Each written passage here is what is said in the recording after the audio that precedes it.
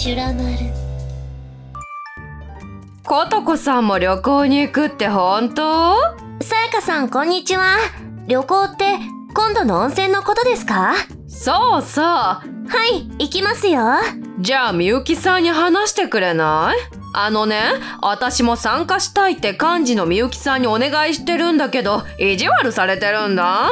私はダメって言われたの。ひどくない？ん？ちょっと待てよ確か最初はさやかさんも旅行のメンバーだったけど積立金を全然払わないからそれ抜けたんじゃなかったっけ？へえそうなんですね。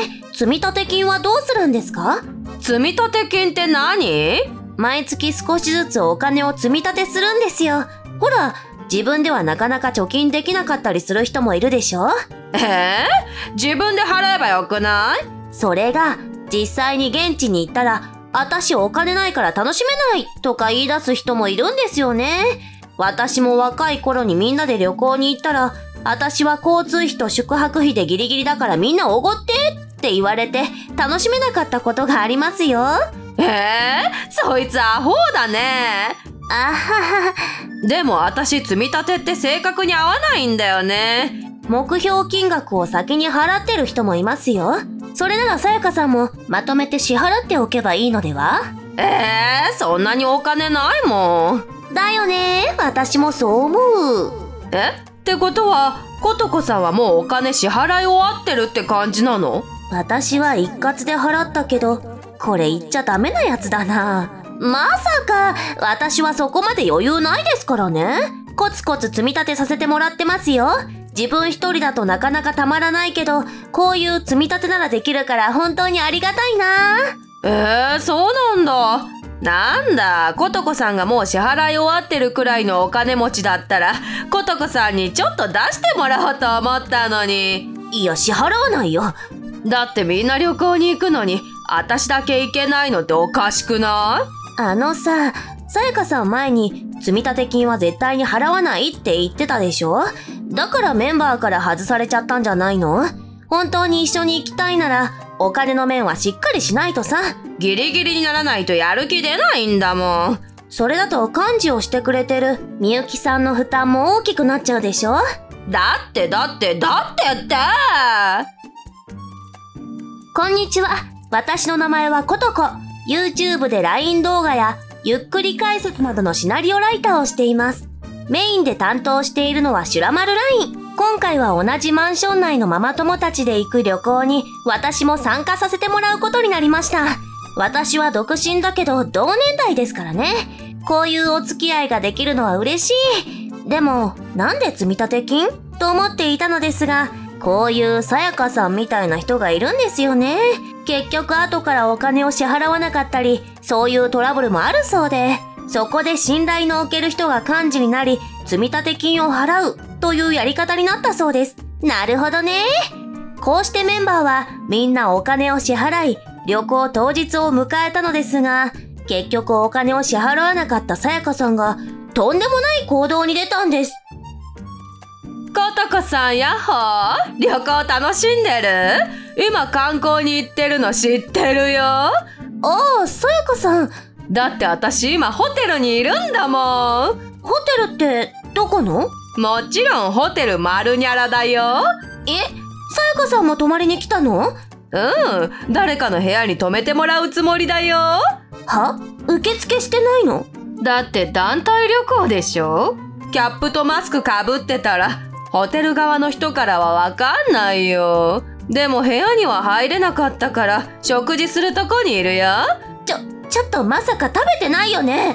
みんな貯めてたんだから積み立てのお金余ってるはずだよね。先に高級食材堪能してるから美味しいよ。なんで警察を呼ばれないと思ってるの？え？信じられない。そんなことしたら警察沙汰になるに決まってるじゃんやだ。そんな大げさなこと言わないでよ。え？ちょ、ちょっと待って。なんかめっちゃ怖い顔してホテルの人が来たんだけど。当たり前だよ。法律のことはよくわからないけど、さやかさんは客じゃないんだから。客じゃない人が勝手に入って食事してるんでしょ？ダメに決まってるじゃない。だ、だって積立金くらい余ってるでしょ？多めに積み立てするつもりってみゆきさん言ってたし多めに積み立てして、その分みんなお小遣いとして、もう還元されたよ。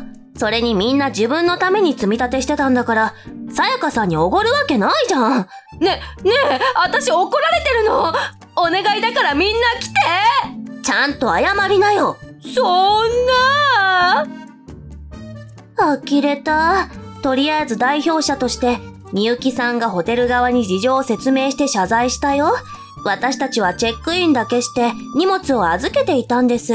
ホテル側も団体の一人だと思って勘違いしていたらしく、向こうも謝罪。結局警察を呼んで話し合いになり、ご主人が呼ばれることに。ご主人も同じマンションに住んでいる人だから気まずいよね。どうやら積立金を支払わないことは一切説明せずに、みんなにいじめられてるのと言ってたらしいけど、真実を知ってご主人も真っ青になってたよ。いやー、アホだなー、と思ってたけど、後日とんでもない話が飛び込んできて、いや、あの、お腹が苦しい。ちょ、ことこさん、話聞いて。あれ、みゆきさんどうしたの？なんかテンション高くない？それがさ、ご主人はすごく謝ってくれたんだけど、さやかさん納得いかなかったみたいでね。まだ暴れてるんだ。みゆきさんも大変だね。私はあの手の人慣れてるからいいんだけどさ、内容証明でも用意してねって言ったら、こんな LINE が届いたの。みゆきさんはさやかさんに迷惑かけたので慰謝料を請求しますどうしてさやかさんをいじめるようなことをするんですか？同じマンションに住むママ友なら優しくしないといけないです。お金はちゃんと払わないと逮捕されますよ。慰謝料は500万円です。早く支払わないと交番に連れて行きます。交番に連れて行かれるのは怖いですよね。さやかさんも警察呼ばれて怖かったんだからね。相手の気持ちを考えられるような人になってくださいね。さやかさんの弁護士より。早くお金出してね。ちょ、お前昔の2ちゃん時代だっけ誤字だらけの内容証明が届いたって話を見たけど、今の時代は LINE で届くんだね。てか、みゆきさんを騙そうとしてるって。あー、さやかさん人の話聞かないからね。私の職業も理解してないんだと思うよ。これ、どうすんの？うーん、さすがに弁護士を語ってるから、見逃すことはできないかな。ただ、これを警察に相談するのって、てか、警察署じゃなくて交番に連れて行くんだ。しかも最後の早くお金出してねってもう腹筋がダメだわ。